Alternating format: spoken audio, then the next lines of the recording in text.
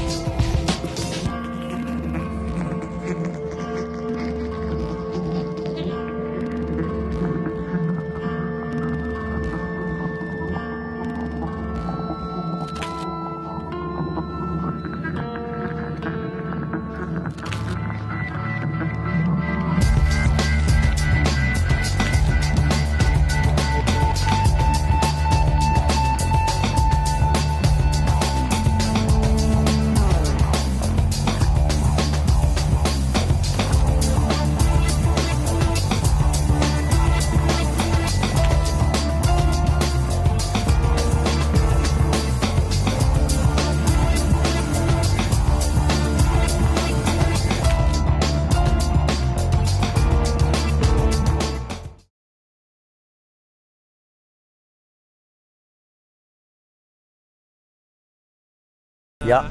I, s- I saw for the first time that you uh, spinned around uh, fish Yeah. uh, on the on the hook. You spinned with ribbon. Yeah, Wait. Voilà.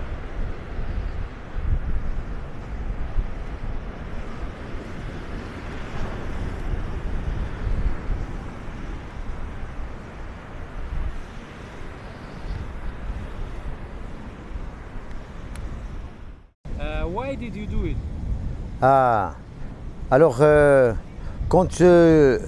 Comment dire Après avoir lancé, j'attends que le poisson euh, attrape l'hameçon. Et là, je, le- j'essaye de le fatiguer dans l'eau.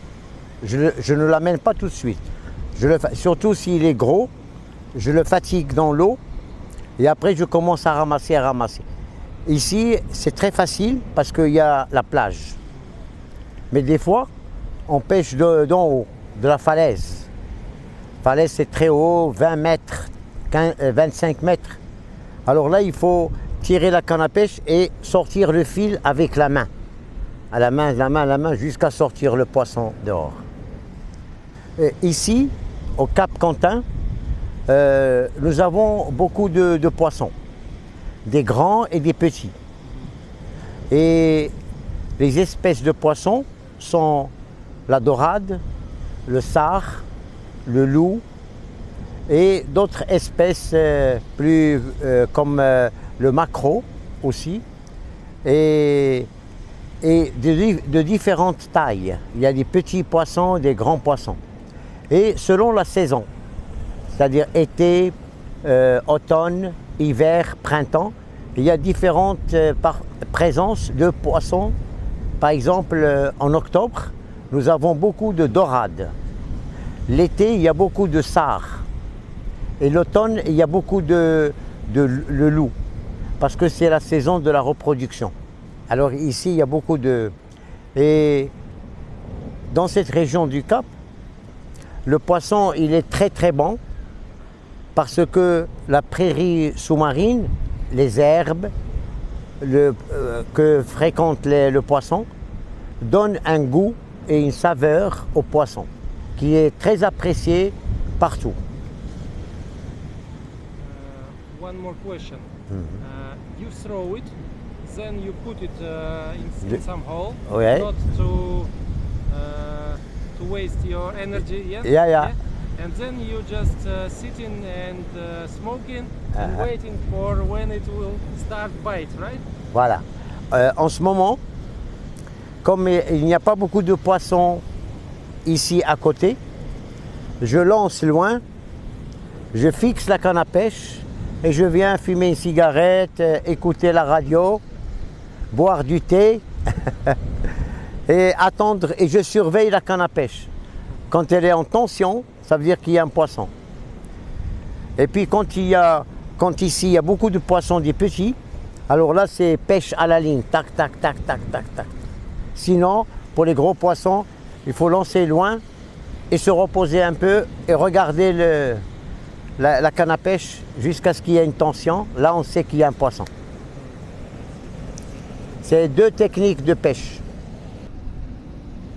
And uh, how many uh, uh, if good day, Ouais. how many fishes uh, can you uh, catch uh, Ah, for le- once? les, les bons, les bons jours, euh, quand il y a beaucoup de poissons, c'est un bon jour. Alors, euh, en une heure, on a 10 kilos de poissons. Des petits, des grands, les bons jours. Et puis, il y a des jours où pratiquement il n'y a rien. Euh, maintenant, aujourd'hui, il n'y a pas beaucoup de poissons. Surtout que l'eau, elle est claire. Quand l'eau est claire et transparente, le poisson ne, sort pas. Il reste caché dans les rochers, à l'ombre. Parce qu'il y a trop de lumière pour lui. Le soir, il commence à sortir. Et généralement, euh, les bonnes pêches, c'est la nuit. Quand il, y a la nuit, là, le poisson commence à sortir, il a faim, il veut manger.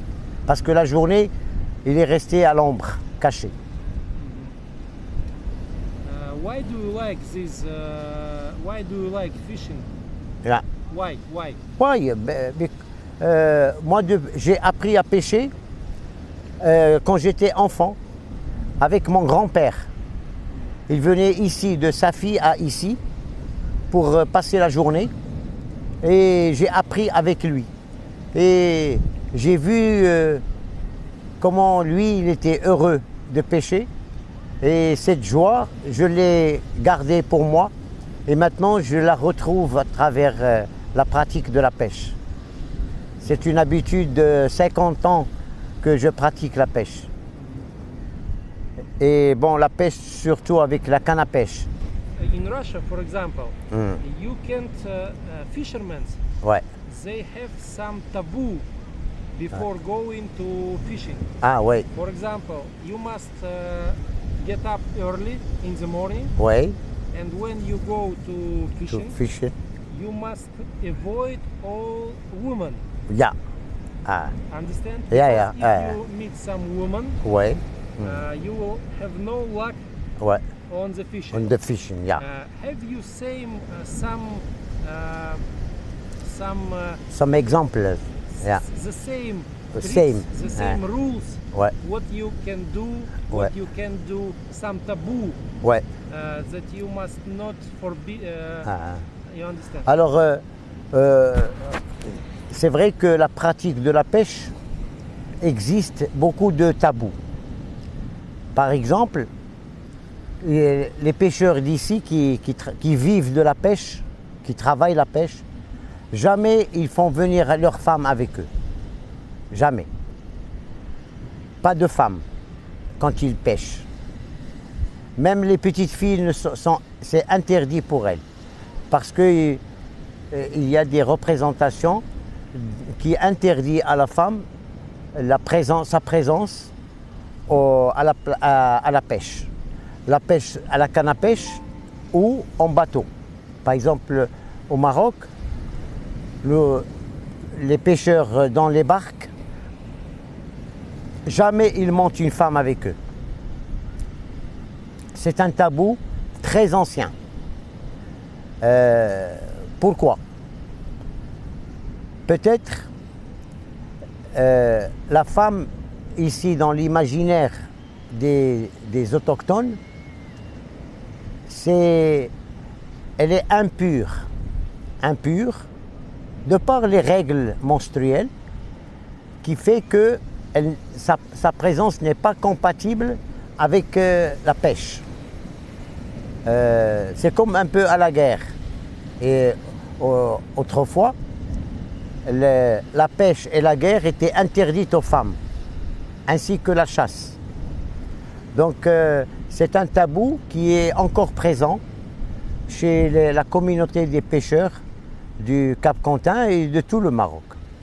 Euh, c'est vrai que aujourd'hui, euh, dans les formations modernes, l'État a ouvert la possibilité à des jeunes filles de devenir pêcheurs, avec un permis, avec une spécialité. Et, et on a maintenant des femmes pêcheurs qui sortent en mer avec un équipage d'hommes. Parfois, c'est elle le commandant de bord. Mais ce sont des exceptions.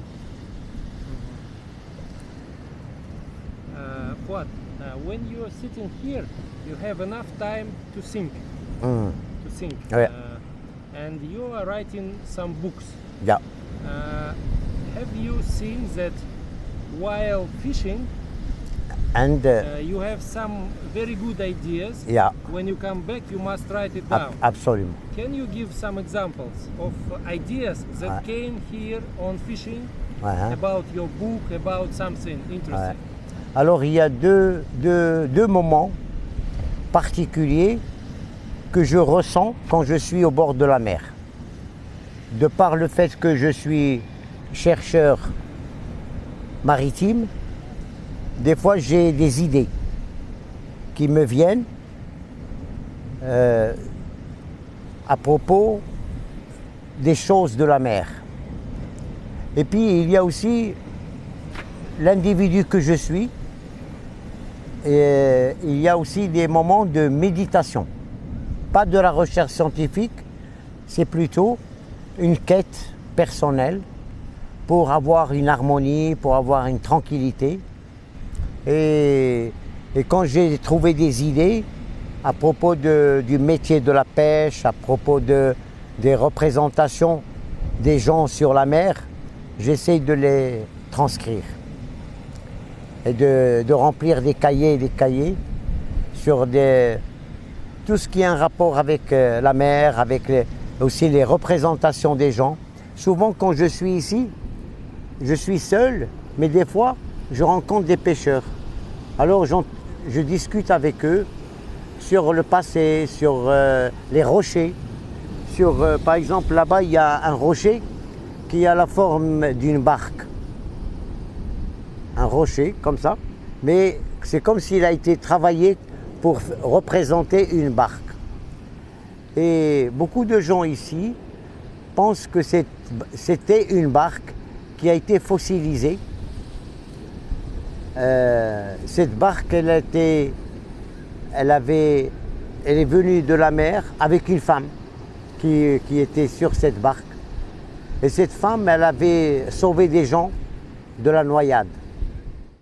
Богина, ну, в, в виде женщины, Так, которая из моря она про- про- произошла. ага. Так и и что, она как бы правила этим народом или что вообще? آه، نيت ولكن هي شنو الدور ديالها كانت؟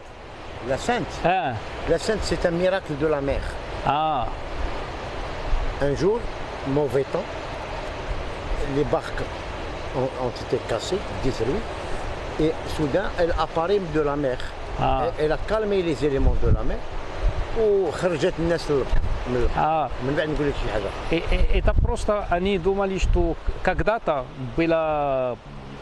ну, все на, на зарошнушено, большое море было. Ага. И она при, произошла из моря, чтобы помогали люди. Она, э, то есть, спокойно Она помогала людям или люди ей помогали? Нет, она помогала, потому что она богиня, она, э, у нее такой, э, Понятно. вот. И они стали для нее, чтобы э, благодарить ее, э, каждый год сделать этот, э, что вы говорили. Понятно. М.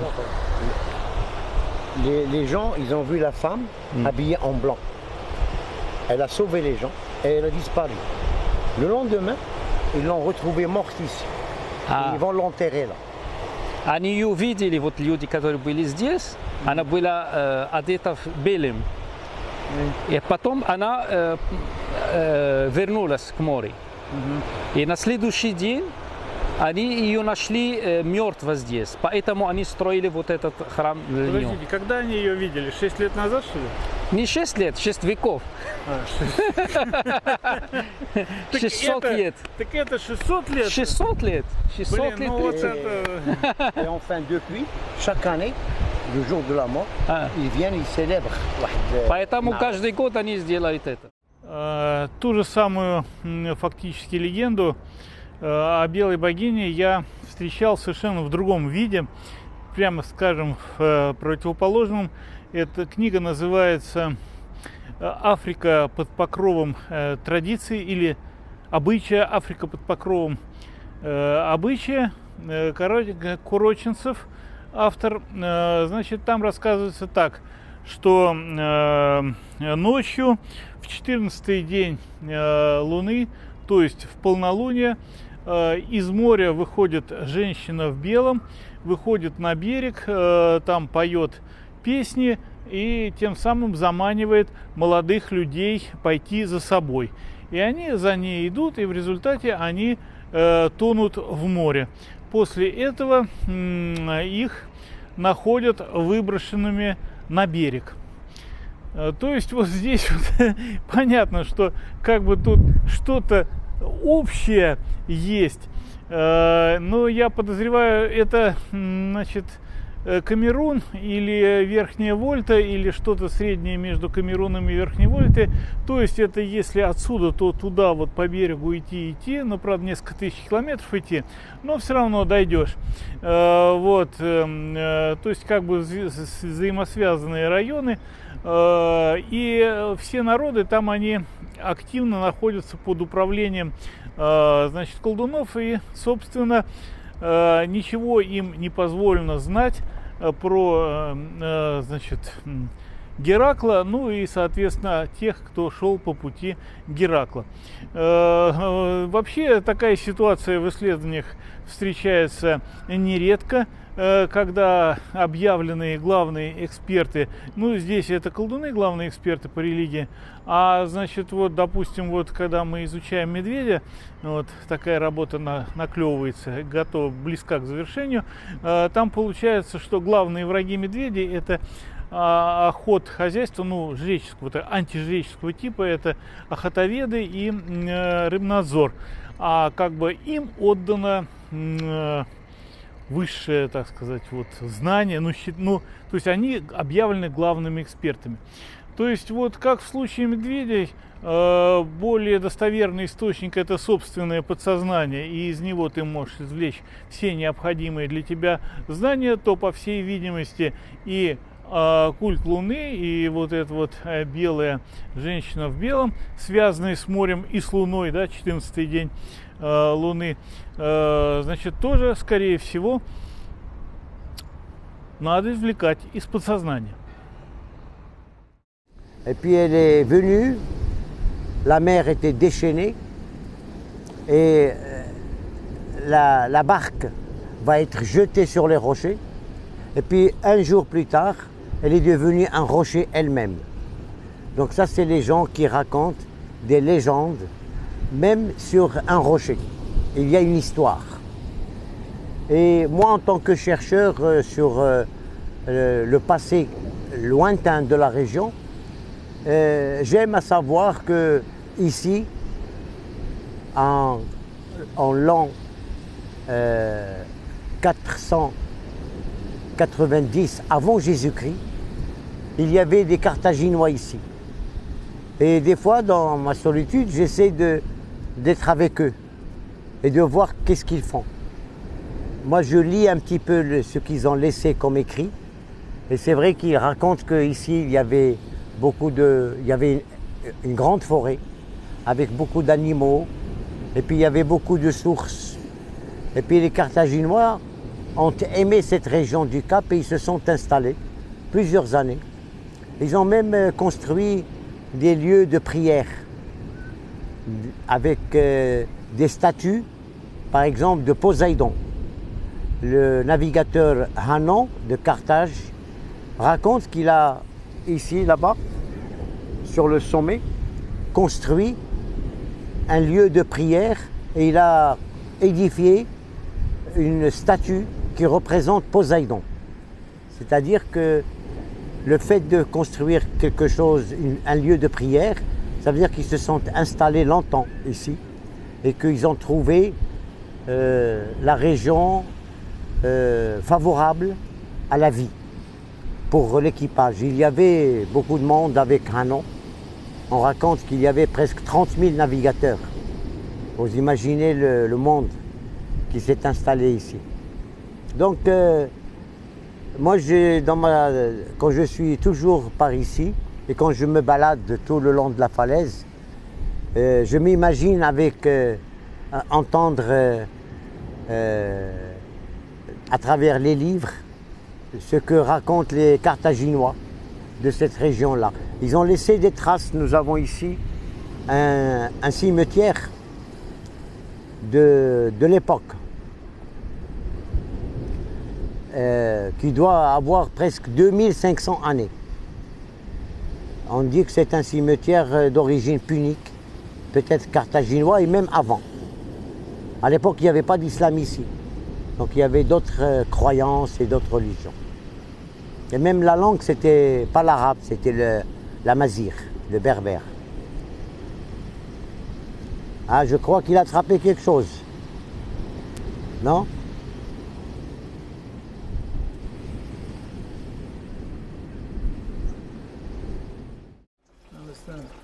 What? Uh, um, I, I think you heard that out of uh, 12 uh, apostles of Christ, most of them was uh, fishermen. Yeah. When we asked why fishermen became most of apostles, You? of- uh, we asked some You, fishermen, you ask fishermen Yeah, in yeah. the cap. Not in Safi, but Safi. in Turkey and in Ah, other oui. places, all answered the, the same. Because fishermen is very hard work. Yeah. Because of this, uh, fishermen became almost sacred Yeah. profession. Yeah. But uh, there are a lot of hard works. Yeah. But uh, no other professions uh, became apostles of uh, Christ. What is your opinion? Why fisherman is sacred Ah, ouais. profession? Euh, probably, pro- euh, je, je parle en français. Ah, français. Probablement, euh, le secret est une passion. La passion du métier de la pêche. Et aussi, euh, les gens qui habitent au bord de la mer ont euh, la possibilité d'exercer ce métier facilement facilement parce que ils ont appris le métier par la famille, le père, les grands-pères, dans le village. Et généralement, c'est des gens qui n'ont pas eu la chance d'aller à l'école longtemps. Donc, euh, ils, ils se contentent de ce, de ce gain-pain, c'est-à-dire euh, la possibilité de gagner de l'argent par la pêche. Mais il y a, c'est vrai, c'est les gens, les fishermen, la passion de la mer. Et je crois que cette passion est la, la, raison de leur euh, situation sociale défavorable. Les, pêcheurs au Maroc sont la catégorie sociale pauvre, poor man.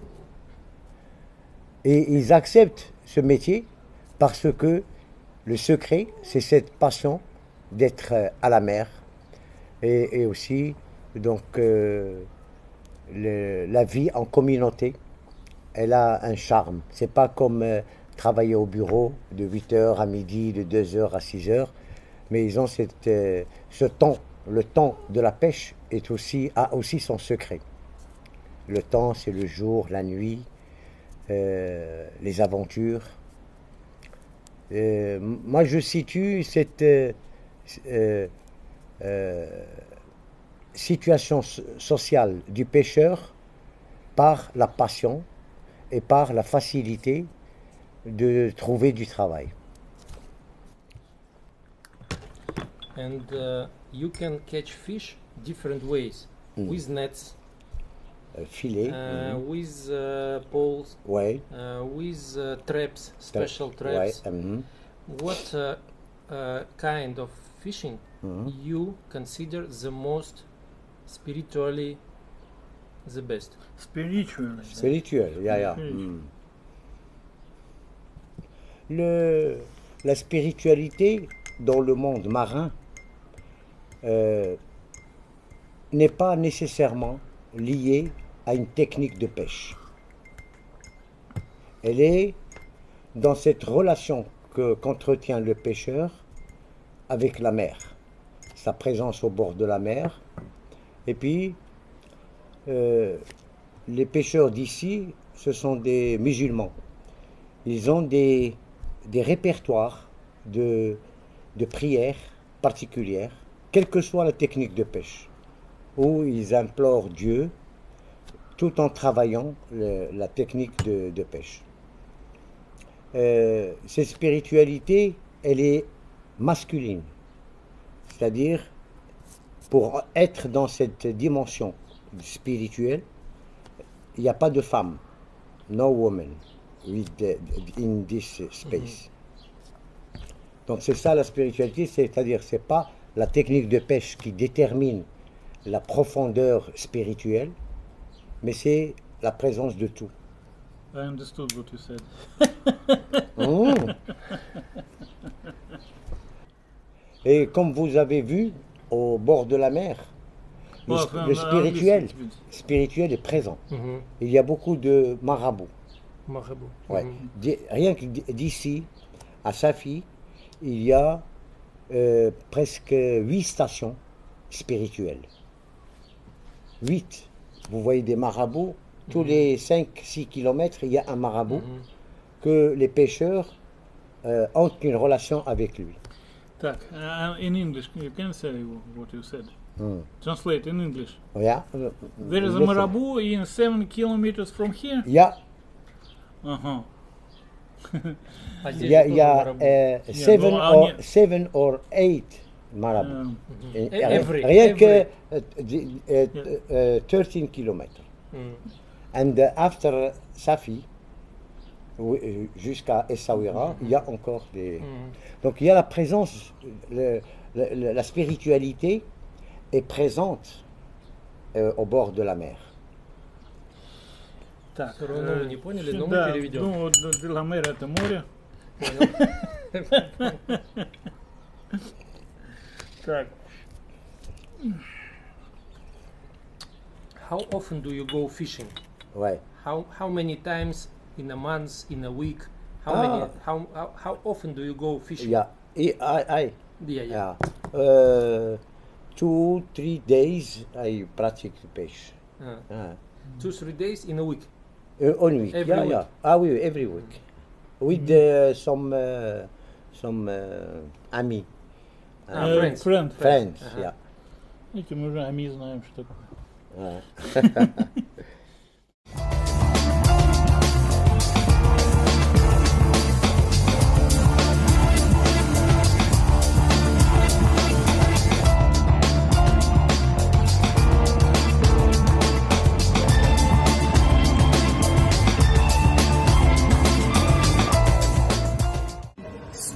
Сколько лет вообще он рыбачит? Кто научил? Он говорит, что он уже 32 года работает в этой сфере. Mm-hmm. Это благодаря его отцу. Mm-hmm. Это он его учил этим заниматься. Mm-hmm. А вообще в первый раз во сколько лет взял удочку? Вот начал именно с удочки которая пытаться рыбачить. Удочку вымерла, как Он говорит, что приблизительно ему было тогда 11 лет. Продлились. Он говорит, что он руками тогда А, охватил руками. все залупы, да. Впервые. Что он сам делает, чтобы быть удачным в рыбалке? Вот есть такое понятие барака на выставлении. Что делать, чтобы у тебя была барака в рыбаке, в рыбалке? Что в жизни, какие надо быть в жизни, чтобы потом прийти и не отсутствовать. Вот, вот вопрос об этом. Правда. Андрей говорит, daarop had dus in het... Hoe deed het in de proces? Он говорит, что в первую очередь в жизни он такой, он считает, что надо быть таким, чтобы у них все получалось удачно, даже в этой работе. Говорит, что не надо никого унижать, и все важно. Даже если это, допустим, самый последний человек, если можно сказать, то все равно не надо никого унижать, ни в коем случае. Уважать это обязательно, в первую очередь. Во вторую очередь, он говорит, что не надо думать о других, особенно в том смысле, что никому не завидовать, чтобы не думать о том, что у кого-то там что-то получалось, чтобы не думать там, он говорит, потому что если, э, если будет думать, допустим, о других людях, и э, если, э, если допустим, там будет голова забита там всяких таких сказать, проблемы, ситуации и так далее, то, которые связаны там, с другими людьми, то в таком случае э, никакой удачи не будет. И он, он говорит, что он говорит, также э, на третьем месте рассчитывать на Бога. Он говорит, потому что никто не может гарантировать на 100%, что э, рыбалка может быть удачной и так далее, кроме Бога. То есть если соблюдать эти правила и рассчитывать на Бога в последнюю очередь, то тогда все будет, так сказать, не получается. Мне интересно, что не надо соревноваться. Я вот это услышал. Да. Ты не должен соревноваться с другими, ориентироваться и пытаться кого-то переловить. Если ты начинаешь этим заниматься, ты теряешь удачливость. Это очень сложно, да. лично для меня. Когда разговор зашел о таком понятии, как удачливость, э, все мы трое, э, не считая, ну, то есть кроме Мухаммада, я, Роман и Айсам, стали всячески пытаться этот момент интервью, момент этого разговора испортить, сделать его скучным и тусклым, чтобы его было неинтересно смотреть. Э, когда разбирали этот момент на катарсисе, вышло следующее. Э, для нас такой, такое понятие, как не унижать других, дается очень сложно. Мне, Роману и Эсаму. А все почему? Потому что у меня есть э, опыт чемпионства в борьбе. У Романа есть опыт чемпионства в шахматах. Все эти чемпионства предполагают подавление соперника, полное его уничтожение и унижение. Ну, я и саму, скорее всего, с его высоким ростом, с его знанием языков, э, это также не чуждо э, смотреть на людей свысока. А тут нам предлагают совершенно другую философию, что все, чем мы всю жизнь занимались, делает нас неудачниками. Конечно, это больно слушать и слышать. Ну и что еще вышло на катарсе, лично для меня неприятное, э, это то, что я на самом деле э, считаю, что я Мухаммада уважаю и к нему хорошо отношусь. И хочу услышать от него интересные вещи о рыбалке. Все на самом деле оказалось не так. На Мухаммада я смотрю крайне негативно. Мне он не нравится, как бы я ни кривлялся. Я считаю его неудачником. И хотел услышать от него что-то простое и скучное. А когда он стал говорить что-то интересное, для меня это было ударом. И мне тяжело было это выдержать. Мне хотелось, чтобы он в моих глазах подтвердил, что он скучный неудачник. Да, я понимаю, да. Это значит годы тренировок, терпения. Есть ли какие-нибудь рыбацкие приметы, суеверия, ну, общем, приметы, на которые он ориентируется для того, чтобы был удачный лов? Просто пример приведу. Вот у нас, например, в России так. Если вышел из дома и что-то забыл, нельзя возвращаться, надо уже идти. Если вернешься, будет неприятность. Есть какие-то такие же приметы, которые были?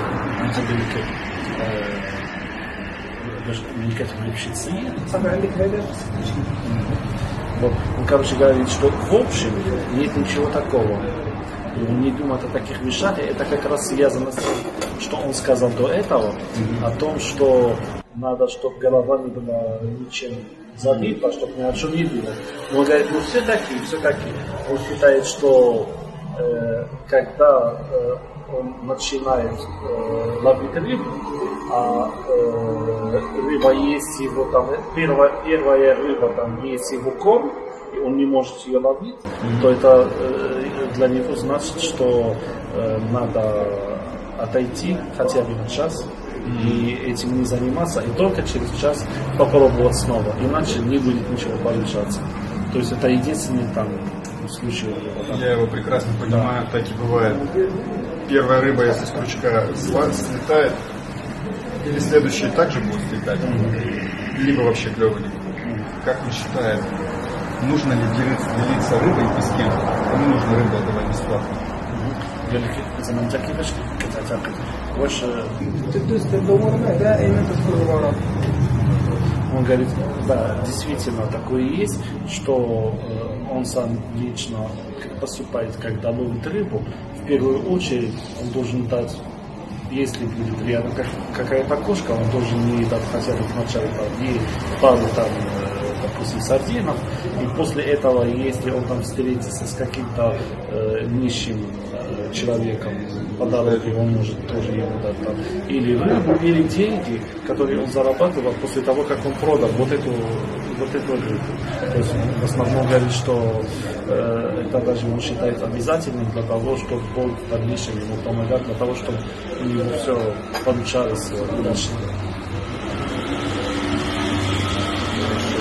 Меняйлов считает, ну, писатель, да, что рыбой нужно делиться именно с теми, кто старше тебя,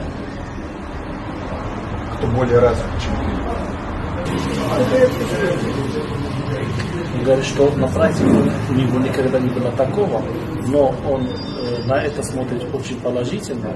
Он говорит, потому что в первую очередь, когда э, ты э, даришь рыбу или делишься рыбу с тем, кто постарше, что в первую очередь этот человек будет думать о себе, скорее всего, потому что это э, такой приятный поступок, и что этот человек, который постарше, будет думать о нем. Он так считает, да?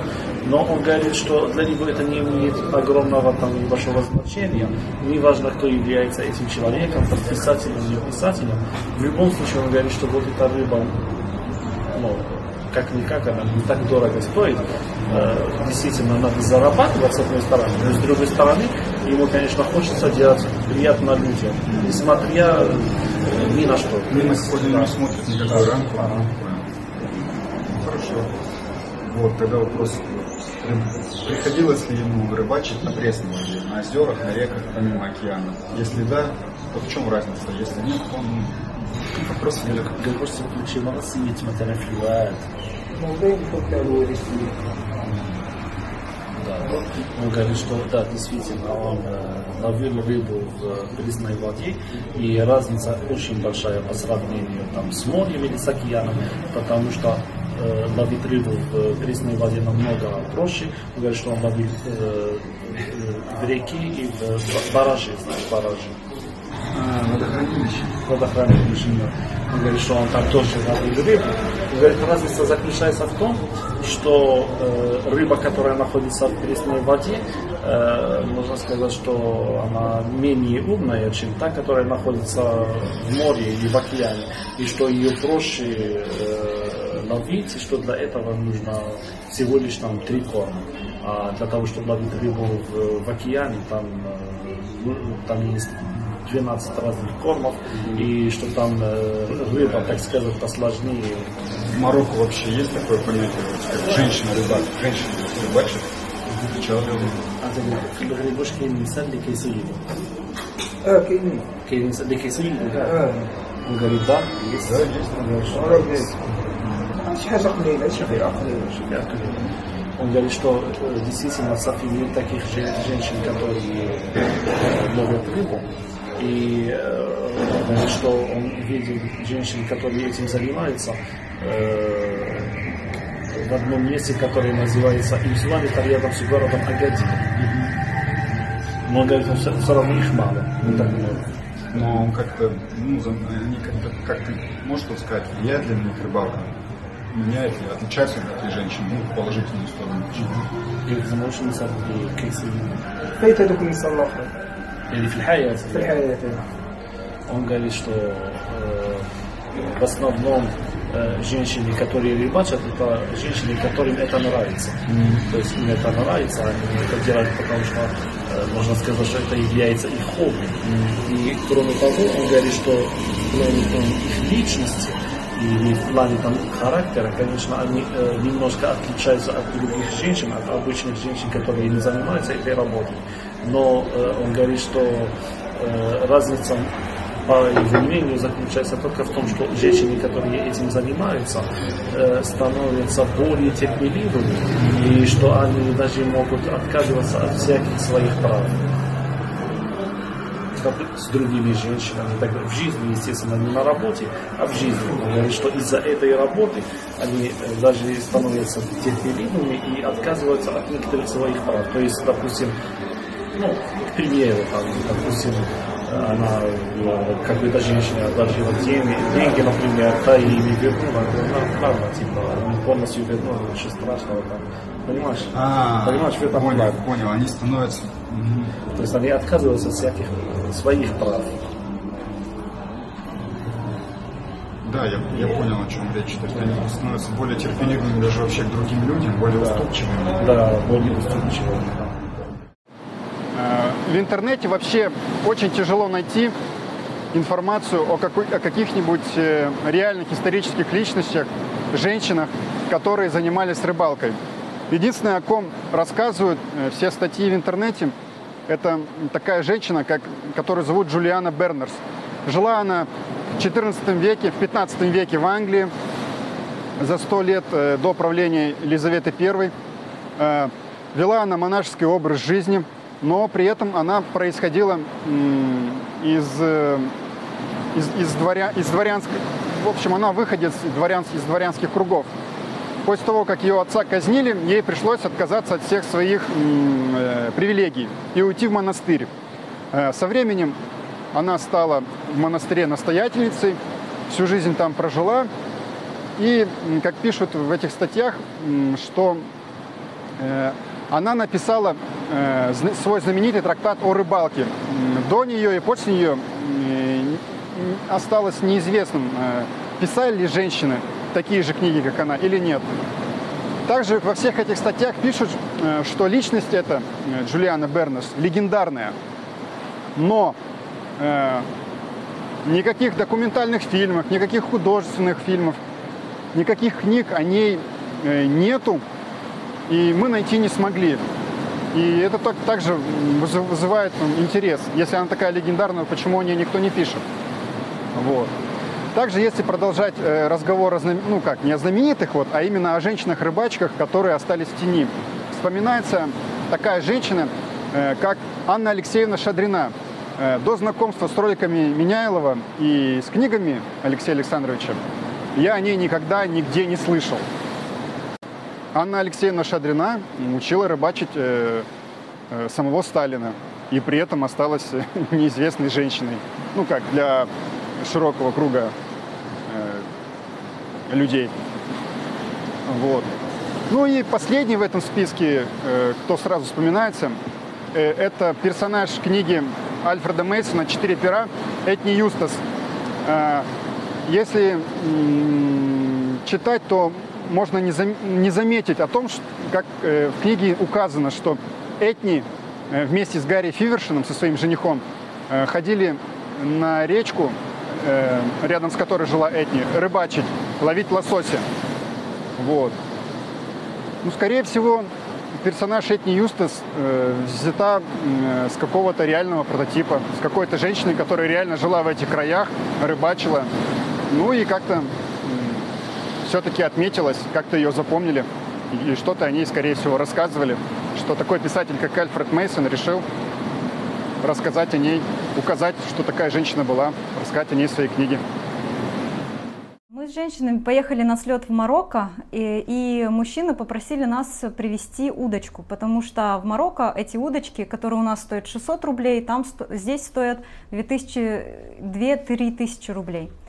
Вот. И, э, ну, значит, когда мы взяли эти удочки, э, точнее, когда я везла эту удочку, э, сразу же на таможне таможенник спросил, поинтересовался, что это. Вот, я испугалась, растерялась и сказала, удочка, он говорит, вы что, едете рыбачить в Марокко? Я опять же растерялась и э, сказала, ну, почти что, потому что сама-то рыбачить я не собиралась, а везла удочку мужикам. А, потом, э, значит, следующий э, Следующее приключение с этой удочкой было такое, когда мы уже садились в самолет, проводник на французском мне что-то пытался спросить, сказать, я ничего не понимала, он просто вот указал, что это у вас, но я поняла, что он спрашивает, что это такое, у меня вот там в рюкзаке торчит такая палка. Ну, я сначала подумала, что он не понимает, что это такое, и сказала, что это удочка на английском языке. Ну и ушла, э, мы пошли, пошли, сели на свои места. Э, и через время, когда вот уже там в процессе полета а, проводник э, подошел и стал мне что-то тоже рассказывать, я ничего не поняла, потому что он говорил только на французском. А потом он достал свой телефон и стал показывать, что он, оказывается, тоже рыбачит, и показывал рыбы, которые, которых он ловит, которых он ловит. Ну, я спросила, где, он сказал, что это в Марокко. А, ну, то есть, эм, как бы женщинам я когда это рассказала, они сказали, ну, вы всех мужчин собрали по, по дороге, каких только могли. Когда уже приехали на слет, э, Слати я все это рассказала, и она с удивлением сказала, а, вот на что, оказывается, ловят мужчин. Ну вот еще такой вопрос. Мы тут одного старика видим каждый раз на рыбалках, часто видели. Он по вечерам рыбачит. Он обычно одевает длинный белый халат, и он вытягивает одну рыбу за другой. Очень прям видно, что он удачливый старик. Ему лет 60-70, наверное. Mm-hmm. Вот Мухаммад знает его? كاين واحد السيد عرفتو знает не говорит о чем знаете сколько ему лет Сигали عنده واحد السنة он говорит это старик كنا كلاس ريفو ماشي ذاك اللي الناس آه كانت هي البيض والخواتم قال لك قال لك كاين واحد القرطه بيضاء عرفته عزيز عزيز قال شي زابط عزيز قال لك شحال شحال تقريبا شي سبعة وخمسين قال شكون يوم الديطة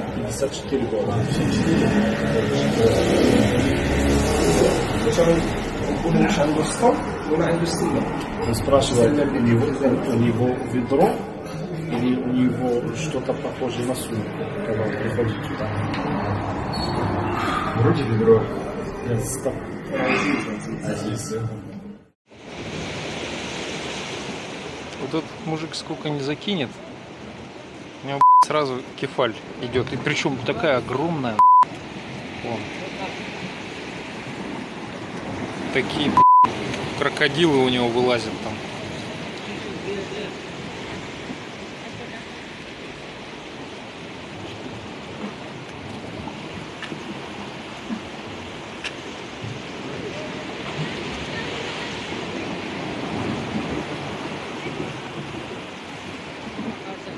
Это не кефаль, это кабан. Но этот маленький, а до этого большие были. Просто огромные.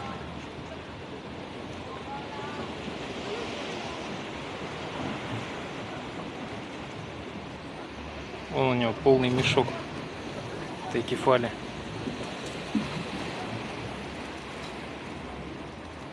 Просто жесть. А рядом мужики сидят, у них так не клюет. Можно ли как-то с этим выйти на связь, так же вот по- пообщаться, как с Мухаммадом, или как-нибудь попозже?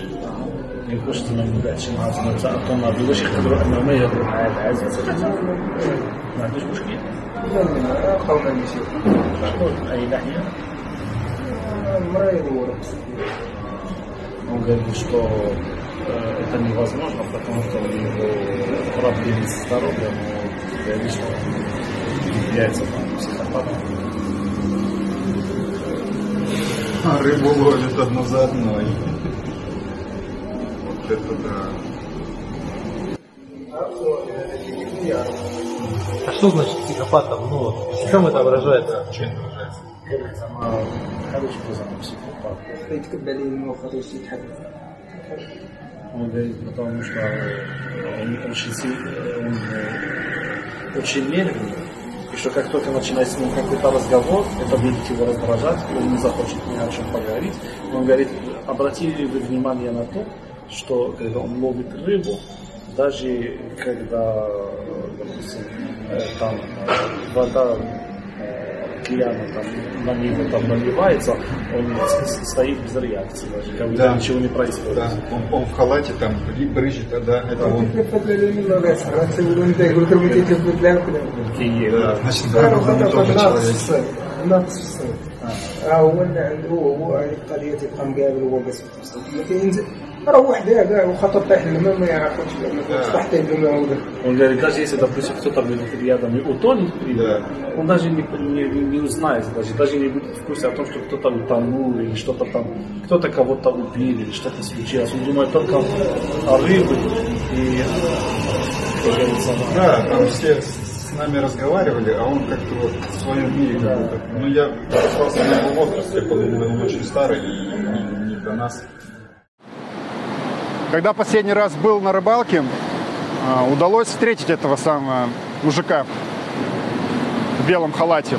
Все началось с того, э, что я вообще рыбачил на его месте, где он обычно стоит. Я почувствовал, что на меня кто-то смотрит. Поворачиваюсь, а там стоит этот мужик, вот так вот, вперил меня взгляд, руки в боки, и так долго молчаливо стоит, ничего не говорит. Но мне стало понятно, что лучше ему место уступить.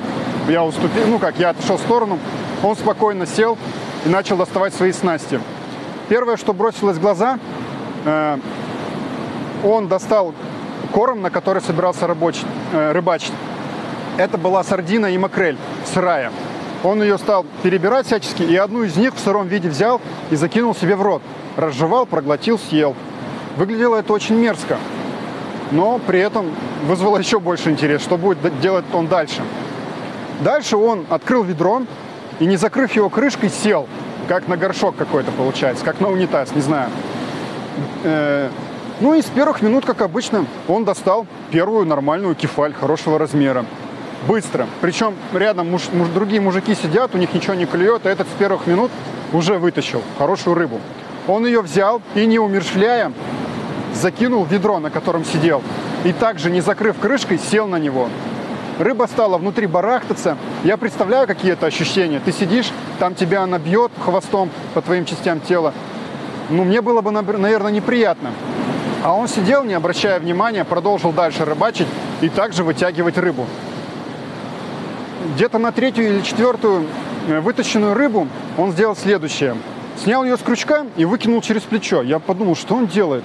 Потом он повернулся, подошел, посмотрел на нее. Она упала между блоками, и ее уже было трудно достать. Он даже не попытался ее доставать, дальше сел рыбачить. И это тоже было непонятно, зачем это все он делает.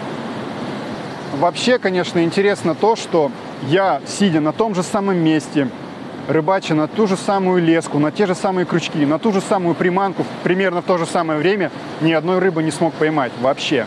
Ну, максимум это были, ну, мелкие там с палец ласкери. Вот.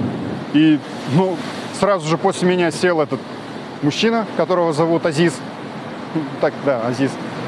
И стал просто вытягивать. При этом он сидел невозмутимо. Ему было на все абсолютно наплевать.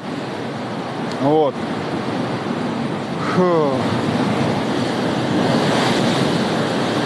А мне не наплевать.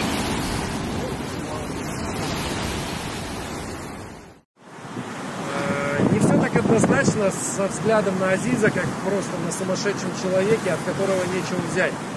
Э, Юрий Прядко отправил информацию об Азизе Соловьеву Геннадию Викторовичу.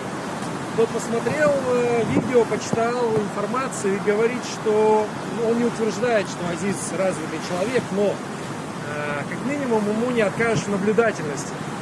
То, что он весь в белом, он повторяет внешний вид чаек, у которых брю- брюхо белое, и они менее заметны для рыбы, которая может не понимать, что там сверху облако или чайка летает.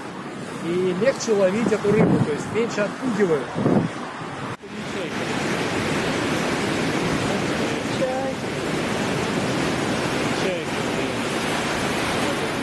А, он либо сам это понял, сообразил, посмотрел, либо прислушался к чему-то совету. Может быть, поэтому у него тоже уловы повышенные. От себя хочу добавить, что э, я с Азизом меньше пересекался и не видел его уловов, и у меня не было к нему такой зависти большой. И мне как-то легче было присмотреться, что он делает, э, то есть перенять какие-то от него э, вещи. Мне понравилось то, что вот он меньше бегает по берегу, тоже меньше отпугивает рыбу, потому что мы-то с Денисом, когда рыбачили, постоянно там суетишься с выловленной рыбой, пока ее поймаешь, в общем, э, пакет уберешь, и через э, полчаса все, клева нет. А тут э, я шел на рыбалку, и Денис мне говорит, давай, слушай, возьми с собой ведерко, сиди на месте, и прям как Азиз, вот все убирай в ведерко. И я так сделал. Плюс, когда рыбу вылавливал, я пользовался советом Азиза. Вот он как переламывал на видео хребет рыбе. Это, во-первых, милосердный способ умерщвления ее. Она не будет мучиться, там, задыхаться два часа. Вот. А во-вторых, ты переломил, тут же убрал, и у тебя минимум суеты. И минимум отпугиваешь рыбу. И в тот день у меня был повышенный улов. Поэтому небольшая благодарность к Азизу у меня есть. Есть ли какой-нибудь э, ну, прогноз, вот как ты можешь спрогнозировать, волна будет, не будет, вот сайты какие-нибудь, еще что-то, или это никак невозможно? واش كاين شي طريقه باش انك تتوقع واش غادي تكون الموت في الموت؟ تتفهم كنت شي راسك منين بدات تسولني في راسك Наш да, он говорит, что из интернета есть три способа для того, чтобы определить, будет ли ванна.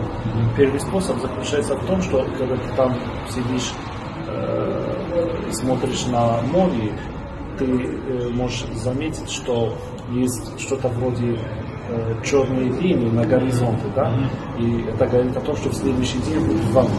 Это первый, первый способ.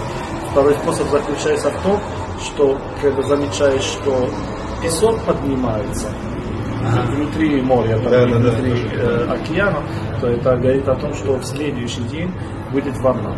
И еще третий способ заключается в том, что когда чайки начинают умываться на море там, или на океане, то это говорит о том, что в следующий день будет ванна тоже. То есть чайки тоже, пока- когда чайки не умываются, то, Да. то это говорит о том, что все в порядке. Но как чайки там находятся, умываются, он говорит, что даже, даже, даже можно знать, где точно будет ванна, в зависимости от того, куда они смотрят. Он рыбачит на лодке, он рыбачит с берега. С берега он рыбачит, забросил и ждет на наживку. Или вот этот способ, когда крючками пытаешься зацепить и ну, тащить на себя, это багрение, ну от слова багор, крюк с ручкой.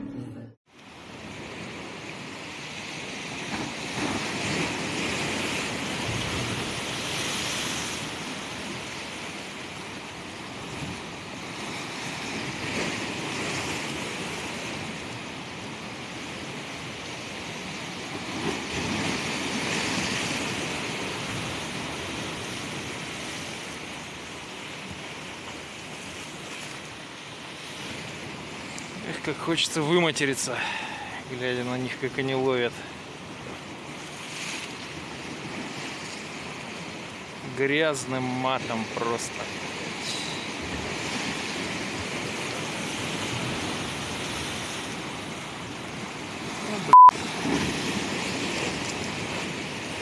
Гад. Просто гадский гад.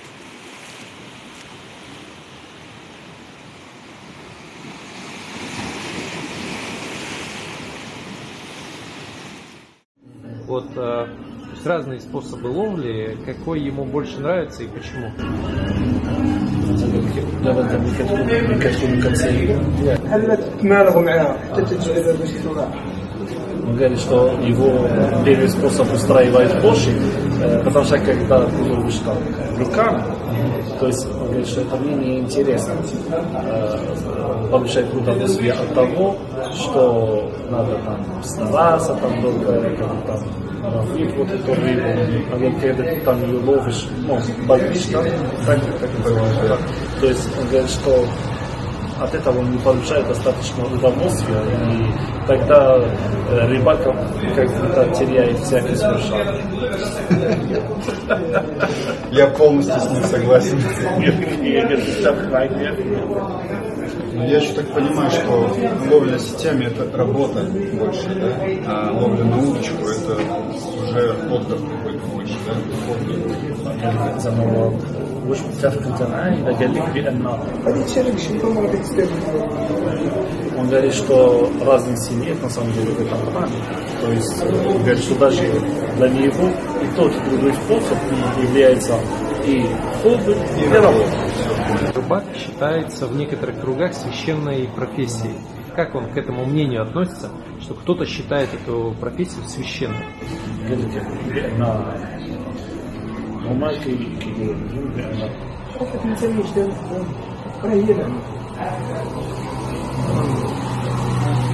он говорит, что да, он согласен с этим мнением, он считает, что эта профессия является священной профессией, это объясняется тем, что, во-первых, эта профессия тебя учит терпению, э, тому, чтобы сосредоточиться.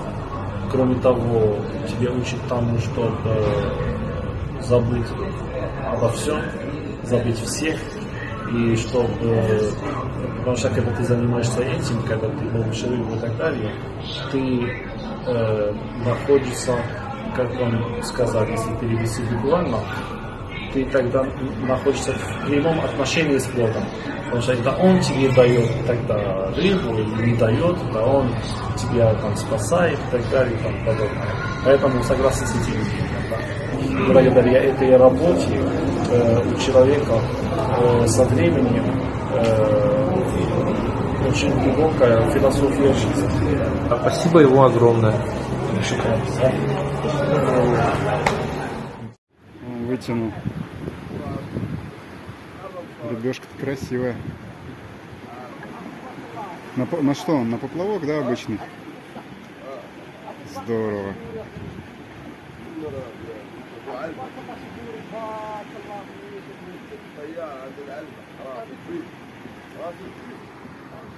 Ну что, Роман, попробуем? Что, да, попробуем, я спрошу. Надо. Надо.